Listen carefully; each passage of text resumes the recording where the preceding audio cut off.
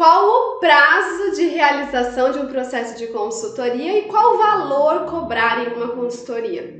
Se tem uma dúvida que eu recebo com muita frequência é essa, Mayara, quanto que eu cobro por uma consultoria de alimentos? Sou Mayara Vale, sou consultora de alimentos, quero ajudar você a alavancar sua carreira como consultor. Se você também tem essa dúvida, fica comigo nesse vídeo, claro, já se inscreve no canal, deixa o seu like aí, vem comigo.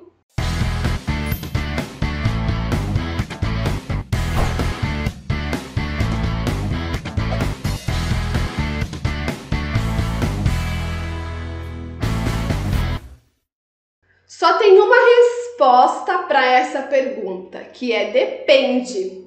Exatamente, depende. Que tipo de serviço você vai oferecer para esse cliente? O que a gente precisa entender é que uma consultoria de alimentos não é algo engessado, algo padrão, que eu vou fazer sempre igual em todos os estabelecimentos. Tá? Isso não é consultoria, isso é controle de qualidade, que é muito diferente.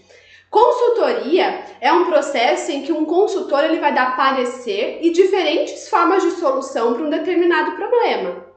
Então, quando um cliente ele contrata um consultor, ele contrata porque ele percebe que ele sozinho não consegue resolver determinado problema.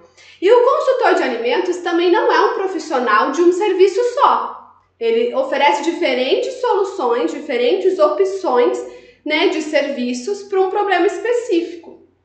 Então, por exemplo, o seu cliente está com problema de redução de desperdício, ele precisa reduzir as perdas que ele tem todos os dias. Como que eu posso resolver esse problema? Eu posso resolver fazendo fichas técnicas e padronizando as operações dele.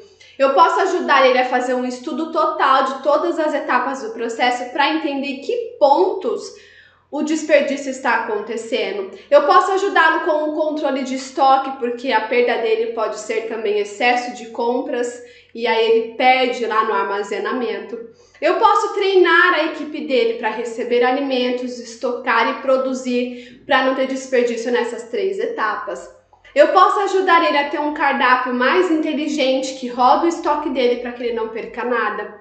Então, olha quantos serviços que eu posso oferecer para um problema só. E como que eu vou saber né, o prazo que essa consultoria vai levar? A gente não, nunca vai ter certeza de um prazo exato, mas a gente pode definir uma frequência de visitas né, durante alguns meses. Então, por exemplo, redução de desperdício. Você pode ajudar o seu cliente a entender o desperdício dele num processo de consultoria de 3 a 5 meses. E não se preocupe com o prazo, porque você pode já informando o seu cliente antecipadamente, aumentar esse prazo se for necessário. Então, deixando claro para o cliente que o prazo é um prazo pré-determinado e que ele pode ser alterado se necessário, você fique tranquilo em relação ao tempo da sua consultoria. Até porque o prazo de uma consultoria não depende só de você, depende da equipe, depende da estrutura, depende dos processos, do quanto eles colaboram para que a consultoria ande bem. Então, Pode ser que você estipule um prazo e esse prazo passe e o processo não esteja completo. Então, avise o seu cliente com é, antecedência, deixe isso já no contrato, de que se for necessário aumentar o prazo, isso pode ser feito se ambas as partes decidirem né, aumentar esse prazo aí para finalizar essa consultoria. O que a gente tem que entender é que um processo de consultoria ele é personalizado e ele pode ser mais longo ou mais curto de acordo com a necessidade que o seu cliente tem. E o valor também vai estar relacionado a esse tempo e ao tipo de serviço que você vai oferecer. Então o valor também não é o mesmo para todas as suas consultorias e para todos os seus clientes. Você vai analisar cada caso e definir o preço de acordo com o tipo de serviço e o tempo do processo que você vai realizar, tá?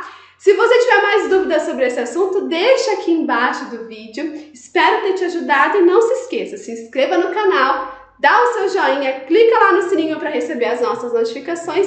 Toda semana tem vídeo novo para você. Eu te espero no próximo vídeo. Até lá!